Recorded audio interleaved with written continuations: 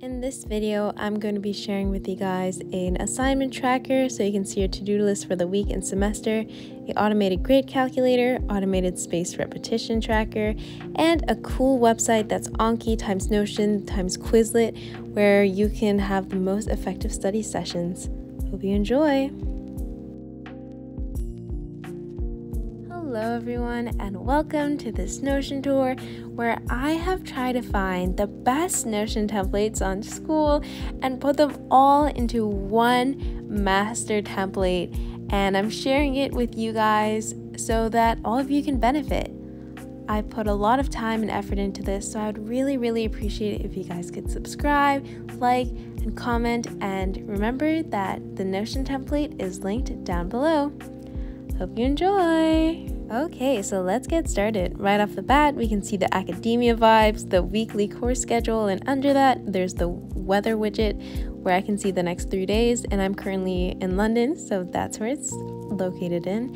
And then you can see the days of the week and the courses I have every single day. And there's a location button too, so you can put your Zoom links. And these aren't actually my courses for this sem, but this is just an example. Here we can see the master assignment schedule too. So you can see there's the class, the status, and the weight you can put. And this is an option where you can see everything you have for that specific semester. So these are the, some of the courses.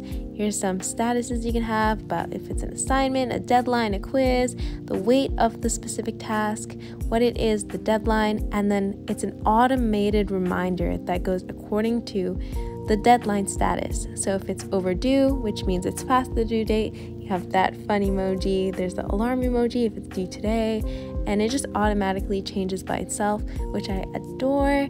And then my favorite feature is that you can make it so that you only see the tasks you have to do that specific week. And if you press done, they disappear, so you don't have to think about it anymore, and you only see your undone tasks. So I think that's really good for productivity.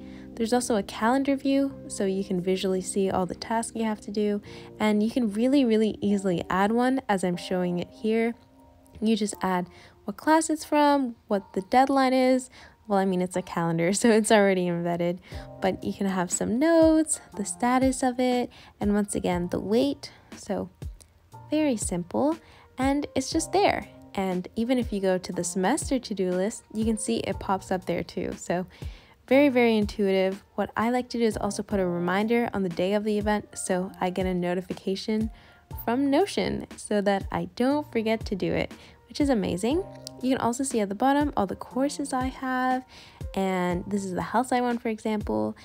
Here you can put your professor, your TA, their emails, the office hours, and if you go to the bottom, you can see there's a portion where you can see only the assignments you have for that specific class. So it's linked to the main assignment tracker we had on the main page. But the difference here is that once you actually do a task, it stays here so that you can see all the tasks you have done and still need to do for every course. I have a link to my university website, which I use often, and there's a place where I can embed the course syllabus. So you can either put a link there or embed the PDF. This isn't actually my syllabus, it's actually just a reading I had to do for one of my classes, but this is just an example of what it looks like, and it makes it very easy to access. And then the second thing we have here is a grade calculator. So this is super, super cool because you can put in all the assignments you're gonna have when they're due, what grade you get for that assignment, but also the weighting. So that's just the sum has to be out of 100 and the teacher calculates that, and the weight of the project. So right now the average is 91, but if you remove, for example, an assignment, you have to make sure the sum the weighting is 100, but then you can see how your average changed to 88.75. So it actually works and it's really useful because you can predict your mark and not need to depend on your teacher and when they submit it and let you know. So I got this idea from Ali Abdaal regarding his spaced repetition tracker, but I wanted to make it better and automated, so we have this.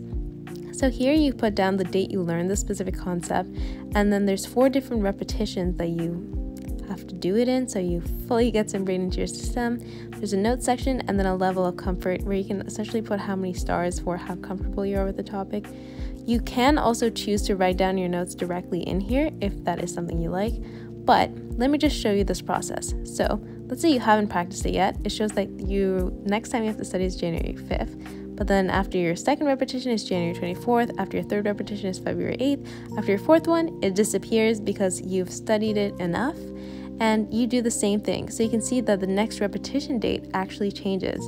And what you can do if you like is actually make it into a reminder so you get a reminder the day of. And here I'm just showing how you can change the number of stars you put to the right to demonstrate your level of comfort. Okay, so let's go see some other course examples we have. We have another health side one I'm showing you and how the images are different. And another one, let's go into psych. I really like the picture on the top actually, but something that I want to show you is actually this link. So I saw Ali Abdaal's video where he talked about why he loved Notion and taking notes there because of the toggle feature.